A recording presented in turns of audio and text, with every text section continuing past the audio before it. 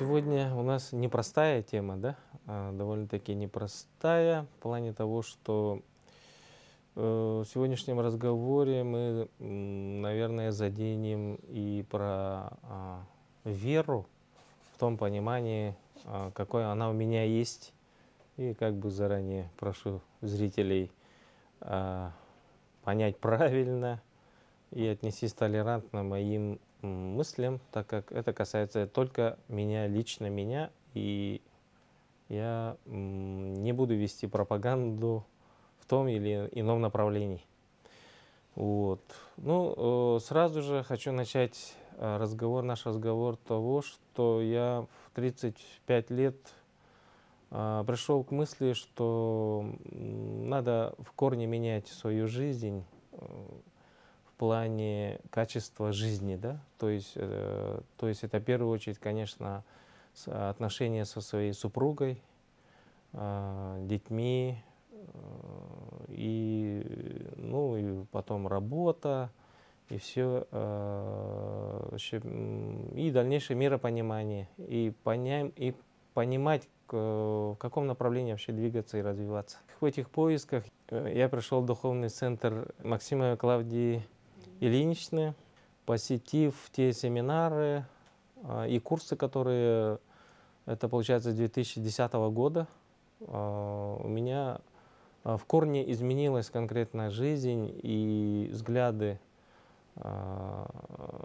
вообще на вещи, которые мне преподали прямо с первого класса, да, понимание вот это устройство нашей жизни, Вселенной, духовного развития, ну и э, человеческих отношений, многих аспектов в общем.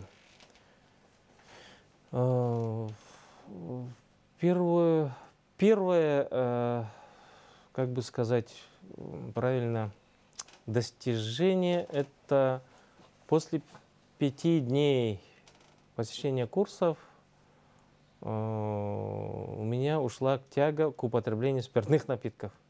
Я очень много говорю про, а, э, про спиртные напитки, как они влияют на жизнь мужчины, в целом людей, потому что это стало бич, бичом нашего общества. Оно отравляет не только а, здоровье употребляющего спиртных напитков, при том неважно, каких объемах это, или это 1 грамм пива, или же ящик водки, абсолютно это не имеет никакого значения. Прежде, прежде всего это а, разрушение, духовное разрушение человека, а, уведение его в сторону а, каких-то низменных чувств и каких-то потребительского отношения к своей э, жизни – ну и к людям, да. А, ну, сразу оговорю, что как бы я не был запойным алкоголиком, э, белой горячки у меня не было, под забором я не валялся, но однако я заметил, что алкоголь очень плотно вошел в нашу жизнь, и э, все э, от начала рождения человека и смерти человека всегда почему-то отмечается употребление спиртных напитков. И впоследствии, э, через многие года посещения духовного центра, э, я понял, что как вообще эта механика, будем говорить условно, э, как эта механика работает на, конкретно на мужчину.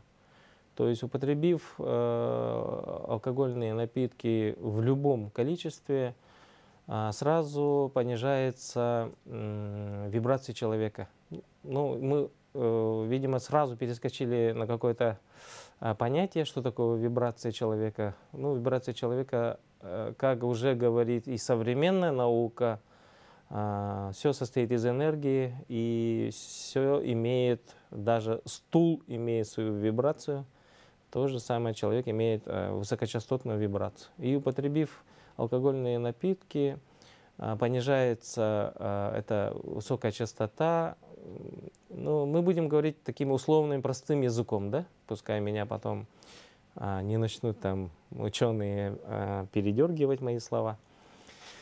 И тем самым у человека а, начинает преобладать темная сторона его личности, и не только это, и а, привлечение так называемых энергетических сущностей, как, можно, как модно сейчас а, именовать, энергетические сущности, э, отрицательные, в смысле отрицательные, и они начинают э, человека двигать на всякие рода неадекватное поведение, то есть начиная каких-то проступков и заканчивая преступлениями.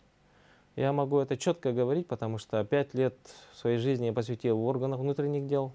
Три года работал следователем и два года опером, ну, оперполномоченным, да. И, как я заметил, 99% преступлений совершается в состоянии алкогольного опьянения, и мне а, это всегда вызывало интерес, э, почему так?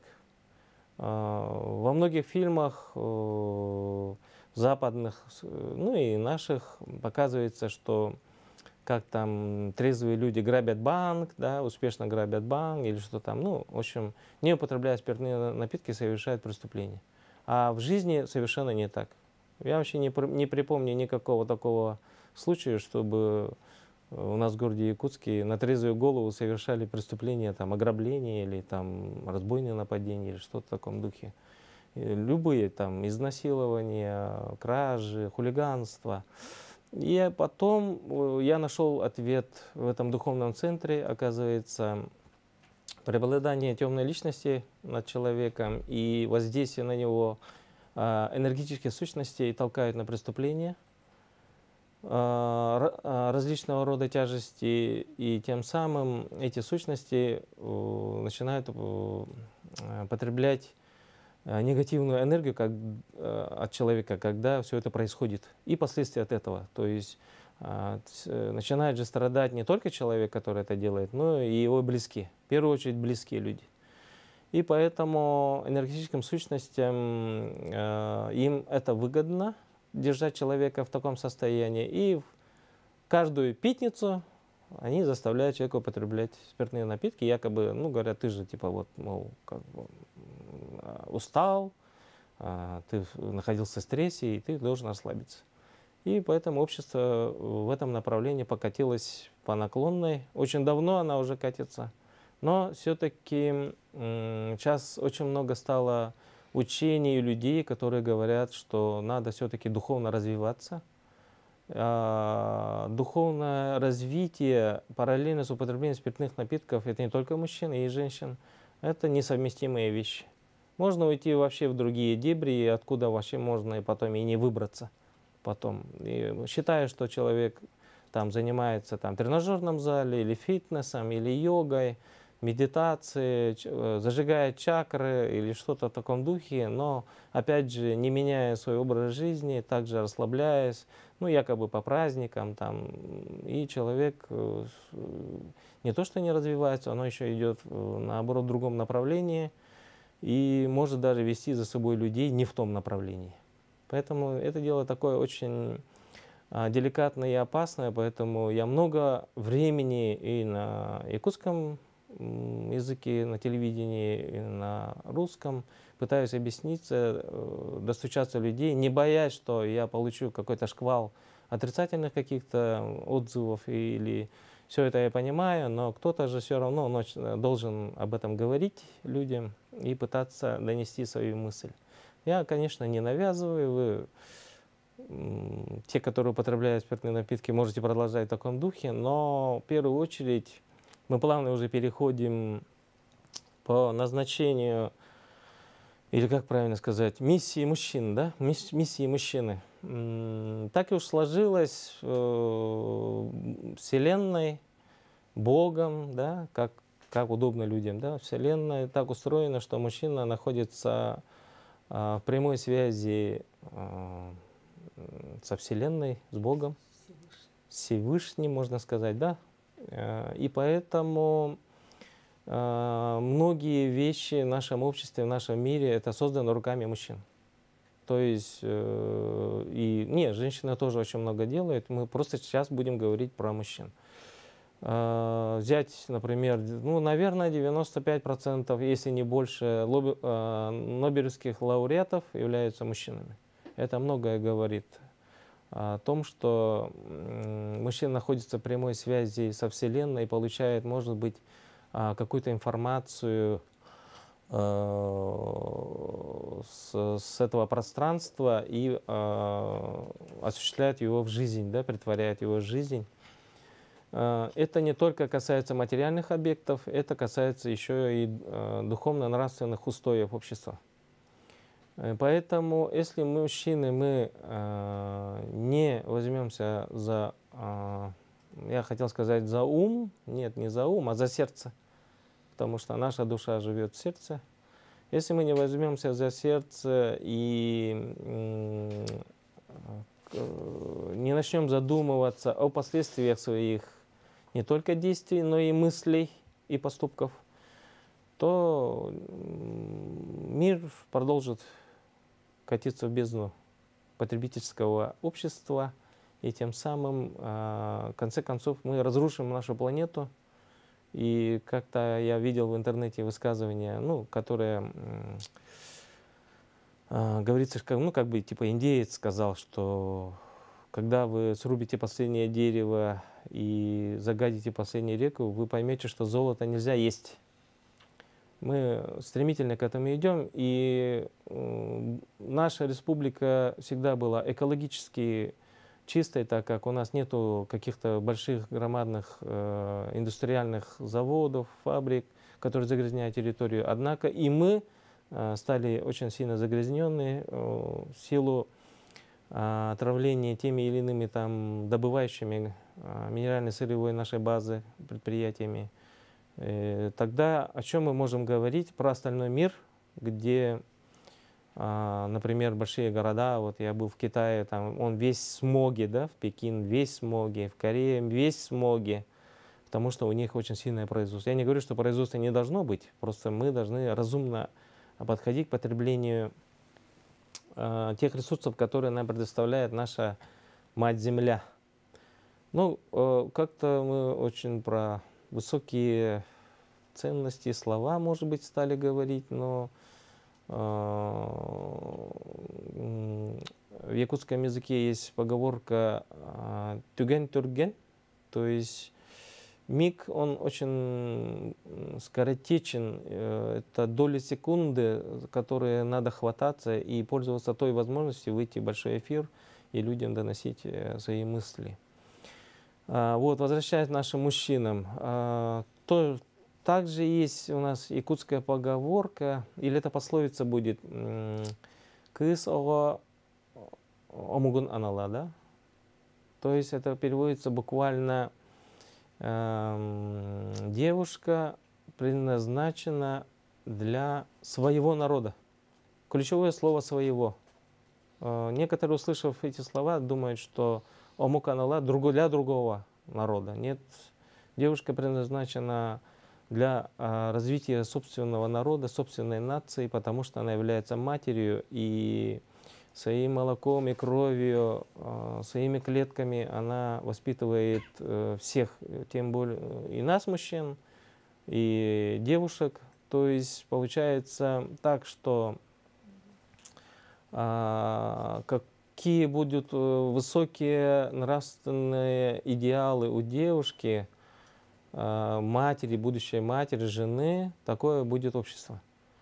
Но то по пути, может быть, общеизвестного данного факта есть тоже очень сильная, мне кажется, вещь. Это то, что э, вот эту миссию женщина не может выполнить без мужчин. Если мужчина будет плыть в другом направлении, какая была бы э, не мать Тереза, эта женщина – она не сможет эту миссию выполнить, потому что эта миссия а, направлена Богом, чтобы выполнялась совместно, мужчина и женщина совместно.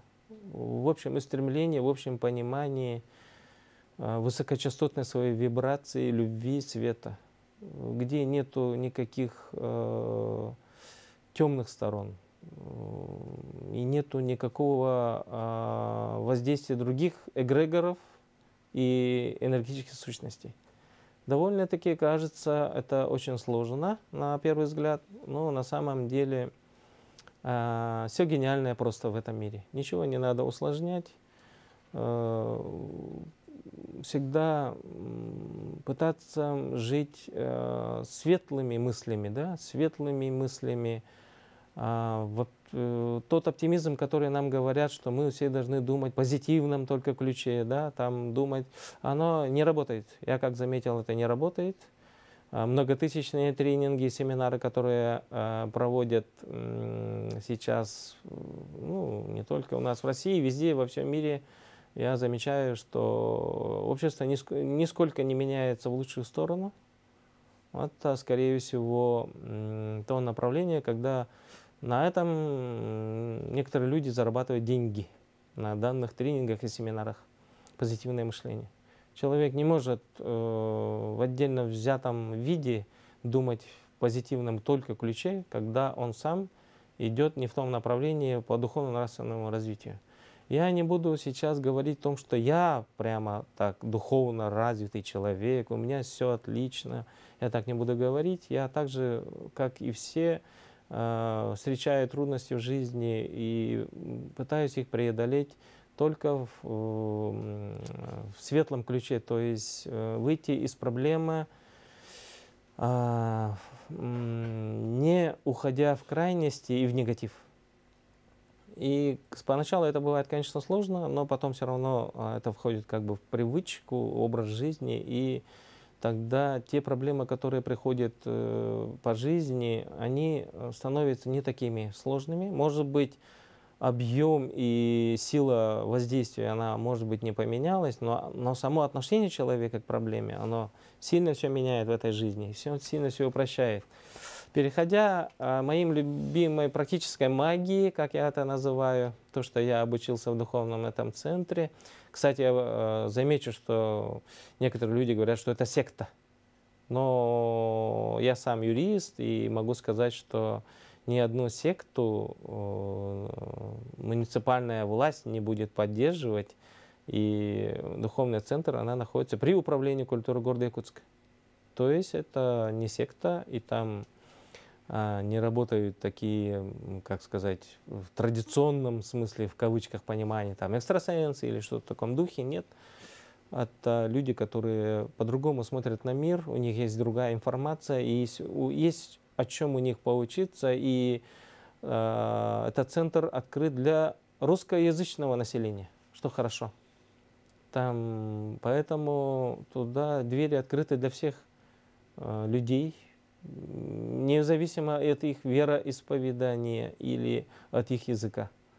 То есть э, я просто призываю людей э, туда идти, Якутская 19, э, Тугиси, все это контакты есть, при желании все это можно найти.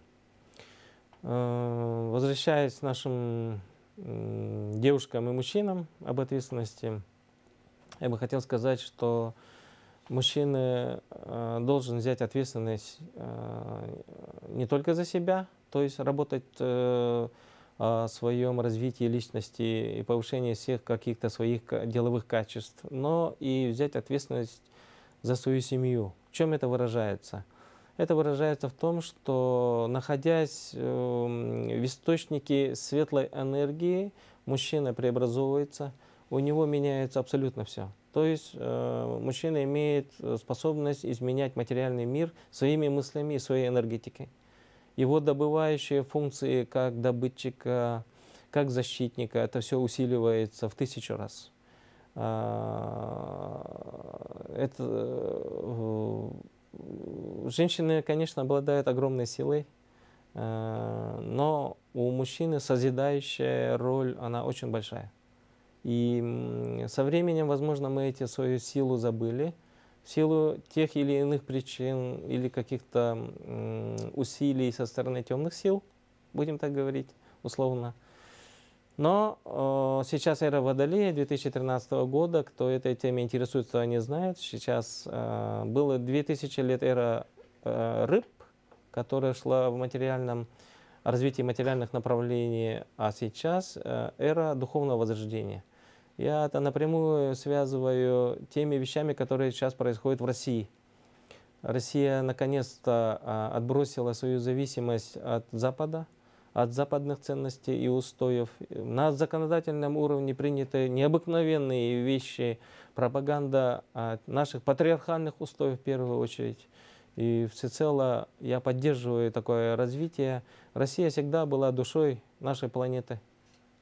И только Россия может э, изменить а, само направление нашей планеты, что и в 2017 году было доказано, когда люди работали 12 часов во всем мире. В результате э, революции люди стали работать 8 часов во всем мире, не только в России. И поэтому Запад всегда стремился ограничить духовно-нравственную роль России в масштабах планеты, и они чувствовали, что в России, если есть э, слово «душа», то в английском слове нет слова «душа». Есть, человек, есть слово только «мен». «Мен» — человек. Правда, я изучал французский язык, у меня есть проблемы с английским, но примерно э, в этом аспекте я так думаю. Э, также касаемо тех преобразований, которые происходят в нашем обществе, и те вещи, которые, возможно, людям не нравятся, именно что сейчас происходит. Э, я был ранее очень радикально настроенный человек. Многие люди меня знают э, как оппозиционера и как организатора многих митингов против чего-нибудь. Так, ну, не буду говорить конкретно про что. Но узнав то, что как устроен этот мир и как устроен человек, и какие э, силы или какие, скажем так, направления меняют людей, манипулируют человека, я понял, что надо вести людей не в негативном направлении и приводение раскола в обществе, да, и приведение человека в ступорное состояние озлобленности и негатива, гнева, а, я считаю, что пришло время, когда а, люди, которые способны вести за собой людей, других людей, они должны вести людей в светлое, как-то прямо очень сильно высоко я сказал, светлое будущее, да, которое нас долго вели, но не в том направлении, возможно. Э, в светлом направлении, то есть э, чтобы каждый человек отвечал сам за себя и не винил никого в этой жизни. Ни учителей, ни мать, ни родителей, ни супруга, ни жену, ни власть, а только отвечал за свои действия и а, развивался. Только тогда, я считаю, у нас будет здоровое общество, когда а, политика не будет разделять людей, и противопоставлять э, против друг друга, потому что в конечном итоге, например, в нашей республике в Наслегах некоторые люди перестают друг с другом разговаривать в результате, когда э, тот или иной кандидат проигрывает или выигрывает. А, то есть э, отношения до того э, сильно негативные друг к другу, что до следующих выборов просто никто друг с другом не разговаривает, а может быть на всю жизнь. Поэтому мы считаем, что пришли к той точке, когда мы должны все-таки пересмотреть. И нельзя все время стучать и бить лбом закрытую дверь. Если дверь не открывается, надо же думать, а почему дверь не открывается? Может, замок сломан? А может быть, вообще это не дверь, а стена каменная? То есть как-то подойти по той проблеме. Поэтому я э, сейчас в данное время буду пытаться донести эту мысль, что а, мы должны менять общество и, может быть, законы а, в том направлении, которое развивает людей и приводит к самостоятельности. То есть э, мы должны уже перестать надеяться а, на кого-то другого и ждать, что нам какие-то будут преподнесены подачки. Мы должны добиваться тех или иных э, вещей сообща и только в, эм, как бы сказать, светлом состоянии духа. Я бы так сказал. Я не говорю, что мы должны все бросить и уйти в тайгу лес жить, да, где-нибудь там охотничья избушку. Нет. Мы должны жить и развиваться, а, общаться друг с другом, а, самоуправляться. В духовном центре, что мне нравится, там обучают трем вещам. Это самоуправляться самому, то есть своим состоянием, мыслями и духом. Оздоравливаться самому, не надеяться на каких-то врачей, таблетки, а, каких-то экстрасенсов, да, шаманов, что они вылечат избавят от какого-то недуга. А человек это как такая субстанция, которая может излечивать сам себя. Есть очень большие результаты, и, и вовсе не означает, что только духовно развитые или, не знаю, какие-то суперлюди могут э, этим заниматься. Этим могут заниматься абсолютно любой человек, абсолютно любого уровня интеллекта или понимания того, тех или иных вещей. Было бы желание. Э, то время, когда э, стало очень много образованных людей, оно уже начинает угнетать нашу планету. Нам нужны уже обществу и планете нужны человечные люди. Человечные люди, которые э, руководствуют своей жизни светом и любовью. Во всех э, народах и во всех религиях, мне кажется, э, любовь является самой основной и большой силой, которая двигает все на этой земле. Она может побеждать любую тьму. Э, то есть есть три истины, которые нет не истина, а есть три силы, которые есть на планете. Это любовь, свет и тьма нет э, хороших или плохих людей. Э, потому что э, плохой человек для тебя, он может быть хорошим человеком для другого человека. То есть, если то, что он делает плохо для тебя, это, возможно, хорошее для другого человека. То же самое вещи, да, например, параллелепипед, если смотреть под одним углом, это может быть там какая-то другая геометрическая фигура а с другой стороны там прямоугольник или квадрат. То есть все относительно. Поэтому, углубляясь тему, что хорошо или плохо, а, э, можно уйти в такие дебри, откуда невозможно потом вернуться. И это вызывает только опустошение и раздражение. Э, по отношению мужчины и женщины да, э, с друг другом. Э, я э, пришел к такому выводу, что э, ну, в результате обучения, сразу скажу, я не сам пришел к, так, к таким мыслям. Если мужчина является высокочастотной вибрацией энергии, то женщина, будем так говорить мягче, чуть ниже. Частота у нее ниже, чем у мужчины, и тем самым она обладает огромной силой, которая может, э, в кавычках, поломать мужчину. И э, в первом э, интервью я говорил, что э, в юридическом, ну вообще в юриспруденции есть такое понятие источник повышенной опасности. Это в основном говорят про транспортные средства. То есть если ты двигаясь на автомобиле на зеленый свет, но при этом совершаешь наезд на пешехода, это не означает, что ты прав, и ты не освобождаешься от ответственности. И тебя засудят по суду, потому что ты управляешь источником повышенной опасности и должен себя вести предусмотрительно и не допускать а, какие-то а, дорожно-транспортные происшествия, тем, тем более увечья для людей. Поэтому я скажу, может быть, крамольную мысль, то, что женщина – это источник повышенной опасности. Надо меня правильно понять, это я, я любя и шутя говорю. И поэтому она может э, по ходу своих действий, когда она разгневана или же э, делает какой-то молчаливый террор, да, это ломает мужчину и тем самым э, достигается, может быть, кратковременное удовлетворение, то, что она победила в каких-то тактических моментах, но стратегически она проигрывает, когда сломанный мужчина, он быть перестает быть источником каких-то не, то, не только доходов, а источником той энергии, которая питает всю семью. Не только женщина, но и детей, и всех, кто рядом находится, близких людей. А мужчина это просто, как скажем так, агрегат, который добывает со Вселенной энергию.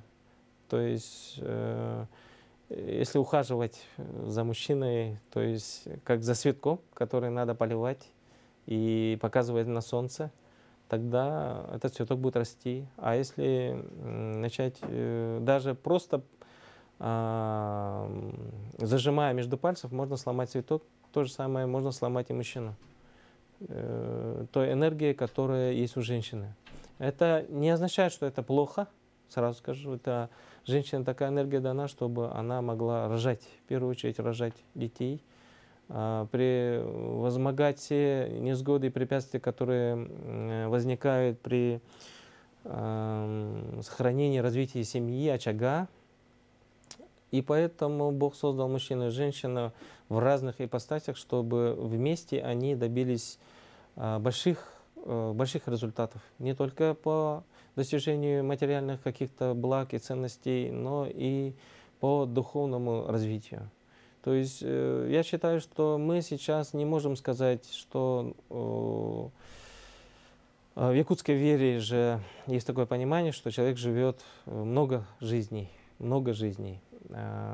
Наверное, очень сложно сказать, что других форм жизни нет во Вселенной, потому что мне как-то понравилось такое выражение – когда человек говорит, что кроме нас э, жизни нет во Вселенной, то как можно, почерпнув из океана воды и посмотрев на эту воду, сказать, ну вот видите, в этой воде ничего нет, а еще не исследован сам океан. То же самое. Поэтому мы, проходя, возможно, мы, мы проходим здесь обучение на планете Земля, какие-то мы получаем свои навыки и опыты, и, возможно, в другой жизни мы будем в другой форме. Это, возможно, какие-то э, очень радикальные мысли и вещи, которые сейчас я говорю, и, может, большинство людей это не воспримет. Но, однако, э, как жизнь показала, что те э, мысли и те устои, которые уже устоялись на планете Земля, они все время почему-то приводят к войне и каким-то другим экономическим, социальным катаклизмом. И мы не можем больше в данном ключе идти, развиваться, потому что это наша единственная планета, это наше последнее убежище, и мы должны ее беречь, потому что мать-земля и на русском э, языке земля там мать, и на якутском языке Сирия, да, Сирия, а, земля мать. Мы должны любить свою мать. Э, про мужчин и женщин мы сказали. Отношение своим детям я скажу. Раньше я считал, что э, мои дети это как бы чуть ли не моя собственность. Как хочу, так и верчу, да? Однако э, впоследствии я узнал, что это, возможно, э, люди, которые в результате перерождения, возможно, мои предки, являются моими предками, и намного они а, мудрее и старше меня. И вообще они являются подарками Бога. То есть и к своим детям всегда надо относиться как к а, очень ценному, точнее бесценному подарку, который надо беречь и любить. И никогда их не ругать, не оскорблять, не принуждать что-то и не ломать их психику, психику в том плане, чтобы э, э ребенок не закрылся и перестал э, внутренне развиваться и интересоваться все, что вокруг жизни происходит. Не замкнулся в своем телефоне или в компьютере, в каких-то своих играх. Э, постоянно находиться в общении и как-то пытаться расшевелить, потому что до совершеннолетия Бог же дал в наши руки ребенка, и мы отвечаем за его развитие и психическое состояние целостное. Конечно, многие могут сказать, что никто своего ребенка не оскорбляет, не унижает и не принижает, однако э, мы сейчас сильно замечаем, что наши дети даже попросту не умеют высказывать свою точку зрения.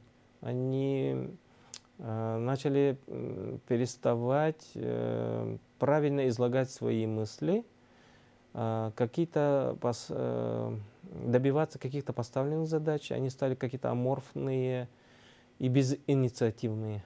А, и по сравнению с нами, которые мы были пионеры, комсомольцы, октябрят, октябрята, и у нас э, какие-то были игры. Возможно, у нас не было интернета и компьютеров, конечно, но, однако, они сильно отличаются от нас.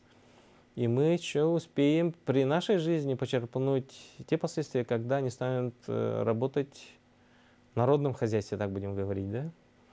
Поэтому наше счастье в наших руках, не только наше личностное развитие, но и развитие нашего будущего общества. Отношение отцов э, своим дочерям, женщинам, это, конечно, оно всегда было особенным, потому что, э, ну, как жизнь показывает, дочери больше любят отца, да, чем мать, наверное. Ну, наверное, я так считаю. И мы, мужчины, не должны подавать э, своим поведением пример – безнравственное отношение к жизни нашим э, девочкам, девушкам. Это касается курения, употребления спиртных напитков, может быть, какого-то легкого поведения, э, какого-то недопонимания своей важности для э, семьи, ну вообще для важности ее материнского состояния. Э, я как-то однажды прочитал, я не знаю, правда или это нет, но она меня сильно задела. В каком плане?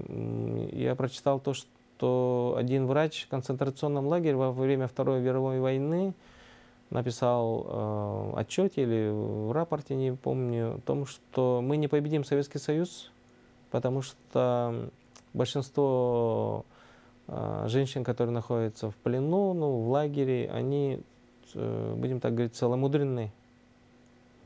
Он написал, что общество, которое имеет целомудренных женщин, это невозможно победить, потому что целомудренных женщин э, рождаются, воспитываются настоящие воины, настоящие мужчины. И поэтому, возможно, прозападные силы в течение многих лет, 30 40 лет они безжалостно уничтожали наши духовно-нравственные устои. В первую очередь они расстреливали наших женщин, чтобы, тем более это руками мужчин. Не женщины сами себя же не расстреливали, а расстреливают это мужчины женщин же, правильно? А мужчина а, в основном является источником таких вещей.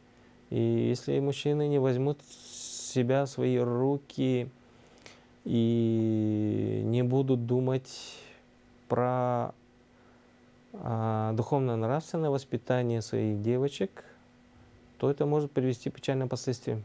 У нас не останется а, воинов, мужчин, которые защитят трудные минуты нашей Родины. Некоторые мужчины не способны защищать свою Родину, оказались неспособны. Нет, я знаю, что они справятся э, с минутной слабостью, потому что человек все время думает. Он не может без э, а, анализирования своих действий и поступков жить, но все равно они все это поймут.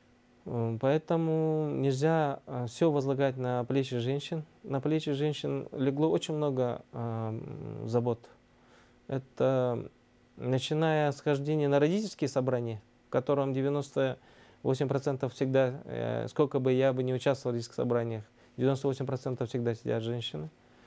Э, замечаю, что если э, на предприятиях, как образовательные учреждения, если раньше работали только мужчины, сейчас это наоборот, 90% это женщины.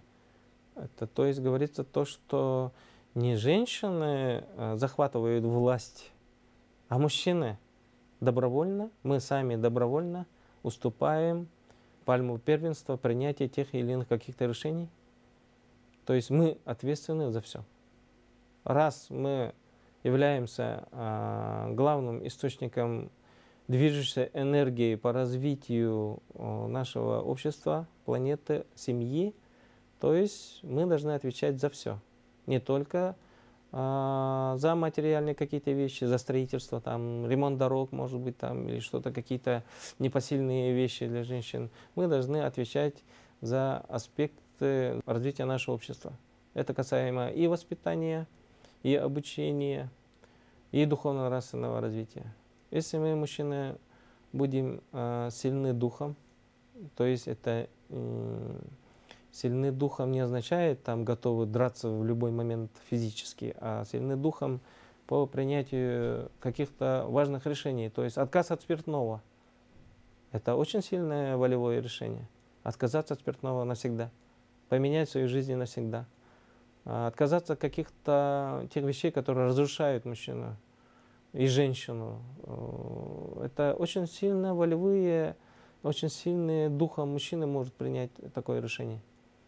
Но нам некогда раскачиваться, потому что если раньше э, общество как-то развивалось, э, я считаю, каким-то другим измерением времени, то есть в мое время э, 50-летние это были очень пожилые люди. Меня отец родил 44, 44 года. Я знаю, что такое э, пожилой отец, да? И когда он приходил на родительское собрание, говорили, что вот э, пришел твой дедушка на, на родительское собрание. И, а сейчас э, мне вот в следующем году будет 50 лет. Я не считаю себя пожилым человеком. И 70-летние сейчас люди занимаются активной жизненной позицией, да, занимаются спортом, духовным развитием, они поют, рисуют, танцуют. И, а раньше 70-летние, это же практически уже конец жизни практически был. Это глубоко, глубоко а, уставший, изможденный был человек. Поэтому время очень быстротечное, мы должны принимать решения не в понедельник, а здесь и прямо и сейчас. Потому что условный понедельник, он может, может длиться до окончания жизни на этой планете. И однажды после смерти человек может вдруг очнуться и сказать, подождите, я же вот только-только начинал а, менять свою жизнь, э, все было бы хорошо, но однако а, ни, ни, ни я, ни кто другой не гарантирован, что на небесах могут призвать досрочно. И многие вещи можно не успеть сделать. Поэтому, например, эта пандемия, пандемия наглядно показала, что у меня очень много знакомых и даже родственников ушли из жизни, будучи относительно молодыми. Они могли бы еще много чего сделать в своей жизни. Поэтому нельзя легкомысленно относиться, особенно обращаясь к мужчинам в своей жизни, потому что мы ответственны не только за свою жизнь. Мы должны беречь. Я всегда мужчинам говорю, ребята, вы берегите свое здоровье. Оно вам не принадлежит.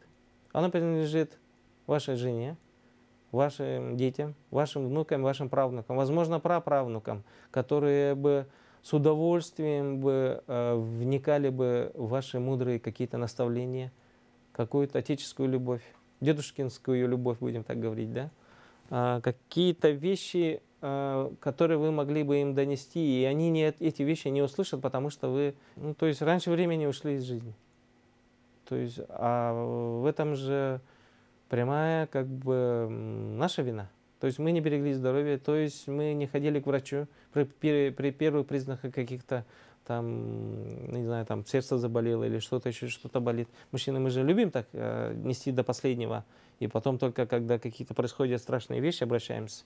То есть э, беречь свое здоровье не означает только употребление, перестать употреблять спиртные напитки, но и также работать над своим здоровьем, просто делать банально зарядку хотя бы 5 дней, э, просто подтягиваться 10 раз, хотя бы. Э, те нормы ГТО хотя бы сдавать, и просто вот прямо сегодня встать, посмотреть нормы ГТО по моему возрасту. Например, мне сейчас надо 2 километра пробежать за 10 минут, ну, на золотой значок. Я буду стремиться золотому именно значком. А, подтягиваться 11 раз, стрелять из 5, 50, возможно, 25 раз. То есть, ну, нормы ГТО для мужчин – это святое, я считаю. И правильно, что государство сильно сейчас обращает внимание на нормы сдачи ГТО для всех – людей. А, то есть, э, стремясь дать нормы ГТО, человек все равно же работает над своим организмом и здоровьем. И в первую очередь не только физическое здоровье, но и духовное, и духовное здоровье, нравственность. Я считаю, что многие заболевания, в том числе раковые, происходят от мыслей, от того уклада отношения жизни и потребительского отношения к обществу. То есть все время дать, дай мне, дай мне – Касаясь э, потребительского отношения к обществу, давайте мы коснемся тему молитвы, да? Молитвы. как-то я в интернете стал замечать, что очень много происходит эм, репостов молитвы, которые говорят, «А, отошли десяти своим друзьям, там, дай Боже силы, дай Боже денег, там, ну, ключевое слово «дай». И в те года я не совсем до конца понимал, что надо, надо просить у Бога и вообще у ангелов-хранителей, которые у человека 24 на 7 работает над, э, над безопасностью твоей души и, и тела. Э, я написал свою молитву, на мой взгляд, касаемо меня, так как я одно время э, достаточно плотно пытался изучить Библию, и молитва тех, которые известна многим, «Отче наш», я тоже знал. И в таком духе я написал молитву и пошел, показал нашему руководителю духовного центра Дом Непрокопьевни и говорю, э, ну, ну, я как бы чувствую, что-то тут не то, как бы сердце всегда, как говорят, интуиция, да? Это не интуиция, а душа. Она знает все. Она частичка Бога, поэтому как бы душа подскажет, что что-то тут ты неправильно написал. Я показываю, она говорит, нет, неправильно. И так я переписывал пять разных вариантов, ей относил, и она говорила, нет, нет, это все неправильно. И, конечно, забросил эту э, затею, и в результате множественных запросов во Вселенную ко мне пришел ответ – что в молитве нет, не должно содержаться слово «дай», «дай мне», а просто надо благодарить Бога, ангелов-хранителей, которые есть, эгрегоров, будем так говорить, если кому так удобно говорить эгрегорам, обращаться к эгрегорам и благодарить то, что они вообще разрешили родиться на этой земле, на этой прекрасной планете, чтобы мы э, имеем возможность обрести тело, и через какие-то свои физические прикосновения ощущать тепло рук своего партнера жизни, детей, тех объектов материальных, объект, к которому мы можем притронуться, оценить, э, наслаждаться, вдыхать э, свежий воздух, запах цветов, слышать пение птиц. Только благодарить то, что ты родился и живешь. И когда я это понял, меня это прям как осенило, ударило током, можно сказать. Я начал, по-якутски называется алгыс. Я этот алгыс э, начал э, повторять во время каждодневных утренних своих зарядок. То есть я э, со временем купил беговую дорожку, ну, чтобы у меня не было никаких так будем говорить, отмазок, что не пойти сегодня бегать, потому что идет дождь или снег, или грязь, или собаки там мешают, или еще что-то. А вот беговая дорожка стоит, все, встань да и беги. Я утром пробегаю там ну, где-то порядка, может быть, 3 километра, ну, по состоянию как бы души, да, может, 2. Но я бегу, и вот этот алгыс про себя повторяю, и благодарю Бога, то, что они разрешили мне родиться на этой земле, благодарю Бога то, что а, они дали мне моих предков, то, что они а, за ними присматривают, за моими предками, за моим отцом, который сейчас уже нету на этой земле, за моим отцом, матерью. Родители, но мы что, коснемся к этих вещей. Мать, благодарю Бога, что она дала любящую мою жену, моих детей любимых внуков, э, дала мне пищу, кровь. Но эти вещи наверняка есть во всех религиях. Но те вещи, которые коснулся в интернете, почему-то было очень много слов «дай». Я касаемо этих слов. И я заметил, что у меня как бы жизнь э, начала резко меняться. Я думаю, что компьютер сделан по подобию образу человека. Когда компьютер включаешь, он же должен хотя бы минуту пять настроиться. Если начать сразу на нем работать, он просто может зависнуть.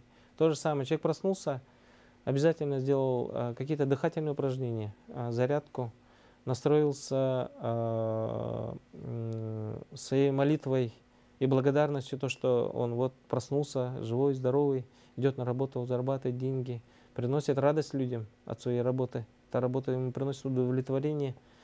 И тогда как-то все по-другому, жизнь по-другому. Но избушка поворачивается передом, а не задом, в общем, да. То есть мы аккуратно пришли в той части, когда в моей жизни было много практических, практической магии, да, чудес, я буду так говорить. Я, кстати, благодарю Бога то, что Бог меня научил а, через людей а, видеть каждый день чудеса, которые происходят. Я э, как-то с возрастом потерял такую способность видеть чудеса, которые происходят каждый день. Например, один из чудес. Я жил на Греции со своей семьей. А, и однажды э, как-то вот у нас пришла такая мысль внезапная, надо продать квартиру и попытаться найти новое жилье, потому что это было маленькое, у нас уже было а, трое детей, и мы хотели большую площадь. Мы продали квартиру, однако злосчастная такая штука, как кредитный рейтинг. У нас казалось э, низкий кредитный рейтинг, и нам просто не дали кредит, так называемый ипотечный кредит или там любой другой. И мы прямо с двумя миллионами оказались практически на улице. Но, однако, посетив духовный центр, так, там э, любя называют нас курсантами. Так как я являюсь курсантом, я знал, что нельзя унывать. Если человек не унывает, особенно мужчина, если он мужчина не унывает, и, а уныние вообще тяжкий грех у нас в Библии, не унывает и всегда а, позитивно, в светлом ключе добивается поставленной задачи, тогда этот вопрос решается. И я купил застройщика в рассрочку, то есть предоплата была 2 миллиона, и застройщик без всякого банка согласился мне предоставить трехкомнатную квартиру, чуть ли не 100 квадратных метров и 20 метров от своего духовного центра. Это, я считаю, это дар, божественный дар, это и есть чудеса. Однако, как я уже говорил, что я не могу говорить, что я достиг какого-то высшего просветления, и я суперразвитый человек духовно. Я допускал, конечно, ошибки, и, может быть, сейчас допускаю, но я работаю над этим. И я допустил просрочки по платежам данного. И застройщик просто подал в суд, и а, при, суд принял решение продать квартиру через аукцион. И практически квартира была утеряна, и за низкую очень цену суд всегда ниже стоимости продает квартиру. Она была уже выставлена на аукционе, я видел сам объявление. Я каждый день просил Бога выйти из этой ситуации а, светлым путем. Светлым путем. И просил меня ну, найти силы э, и терпение решить эту проблему. Я знал, что это я решу проблему, и я работал в этом направлении. И все-таки Бог услышал мои молитвы, и мы закрыли до продажи этой квартиры, закрыли э, свои долги, и впоследствии мы потом даже продали. Ну, как бы район считается не очень котируемый, и там квартиры неохотно там люди покупают, все-таки это же рядом с 17 кварталом, Якутская, да. Э, мы продали квартиру, мы переехали в 203 микрорайон. То есть, это я к чему рассказываю? То есть, когда человек приходит к каким-то э, убеждениям, которые его развивают и не убивают, у него меня, начинает меняться материальная жизнь, материальная сторона жизни. И она не требует 70-летнего усилия 70-летнее моление э, и хождение по монастырям. Ну, я так утрирую говорю. Это живя в этой жизни, здесь и сейчас происходит изменение. И вторая вещь, второе чудо, которое... Э, я однажды прочитал книгу, в которой написано, что э, ну, как бы, будем говорить о каких-то, может быть, низменных вещах, да, потребительских. То есть любая вещь, которую человек захочет, она будет у него. Неважно, сколько это стоит. А, главное, чтобы человек в это верил и работал, главное, в этом направлении, по осуществлению своей мечты. И я решил э, сделать очень дорогой подарок своей жене на 8 марта. Если я раньше дарил подарки, исходя из бюджета, который у меня был в кармане, то я решил на этот раз, э, исходя логики этой книги, купить очень какой-нибудь дорогой подарок, на который я не имею денег. Я пошел в ювелирный магазин и выбрал самое дорогое кольцо. По тем временам это лет 8, э, может быть, назад. стоило 108 тысяч. Конечно же, у меня не было таких денег. Кольцо это из желтого золота, там 40 чем-то бриллиантов, там ну, шикарное кольцо. Я просто дал задание своим ангелам-хранителям, что эта вещь должна быть моим. Я верил, что она будет моим. Самое главное, я в это верил.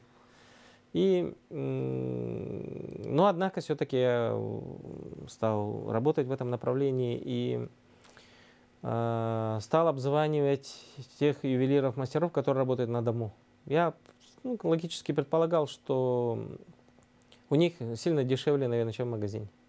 И все-таки и начал у незнакомых мне ювелирных мастеров спрашивать, могут ли они мне продать по себестоимости кольцо.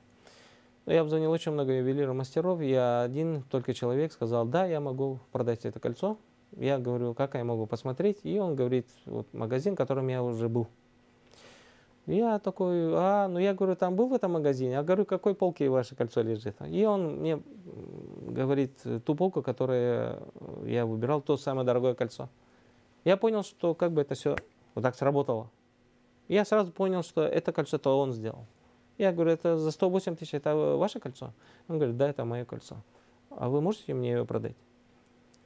Да, и он говорит, нет, я вот сейчас делаю а, ремонт в своей кровле, так бы я говорит, не продал бы по себестоимости, однако я вам продам за полцены, за полцены. И мы просто встретились, это незнакомый абсолютно мне человек. Мы пошли в магазин, сняли э, с реализацией данное кольцо, и он мне ее передал.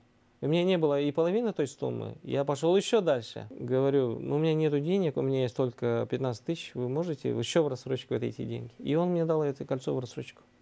То есть я считаю, что это есть а, чудо, которое вошло в копилку моей практической магии, как я их называю. Таких, таких о, методов, будем говорить, да, очень много, очень много, которые можно и самому, и по подсказке духовного центра, может быть, наставников, на обучиться и достигать тех своих каких-то целей, задач и, и осуществить свою мечту. Любую абсолютно мечту, которую человек мечтает. На, мы перестали мечтать и добиваться каких-то целей, э, думая только в том э, направлении, которое нас обучили в школе.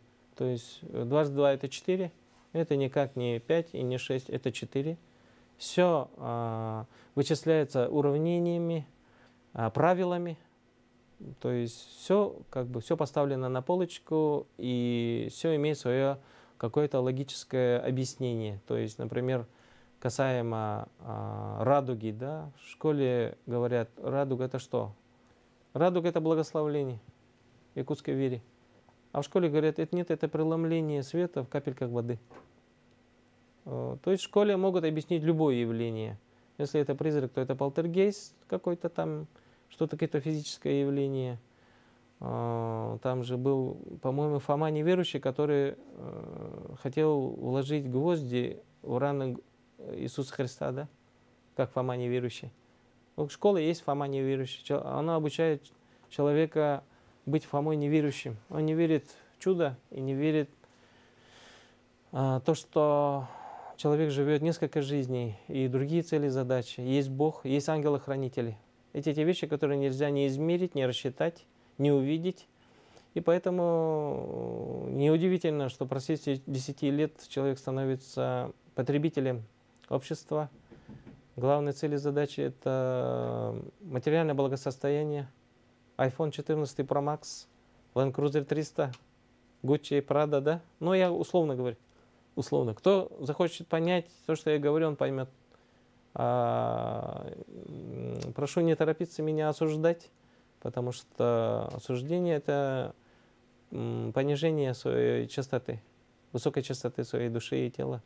И это повлечет негативные последствия. Вот. То есть э, чудо, оно везде, и оно всегда нас окружает. Вот эти все вещи, которые э, я обучился и научился в духовном центре Максима Клавдии Ильиничны, я бы никогда своим умом не дошел бы до, до этих вещей, которые я сейчас рассказал. только благодаря наставникам. Информация, которая наполнена любовью, она обладает огромной исцеляющей и очищающей силой. То есть те слова, которые произносятся человеку, глядя в глаза, прости, люблю, прости, оно может э, менять и прошлое, и будущее. И так называемую карму человека.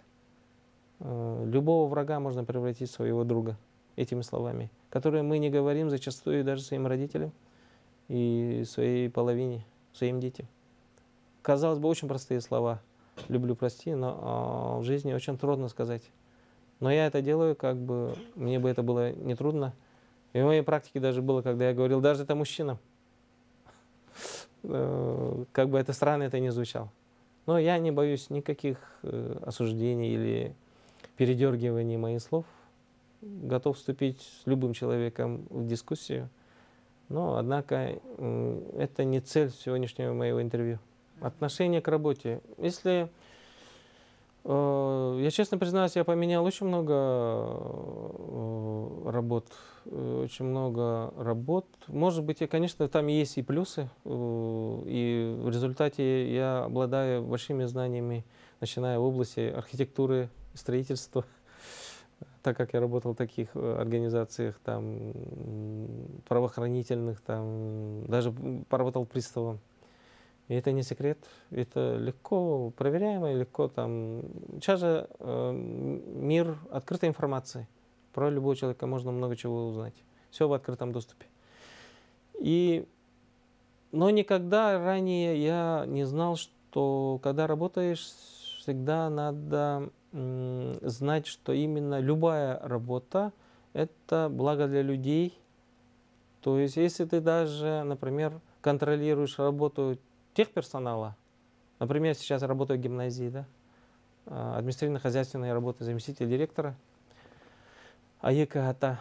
Это не значит, что ты контролируешь работу человека. Это значит, что в результате твоего контроля и этого отношения а, дети ходят в чистоте, дети дышат чистым воздухом, э, вовремя какое-то убранное препятствие, возможно, а, поможет избежать каких-то травм.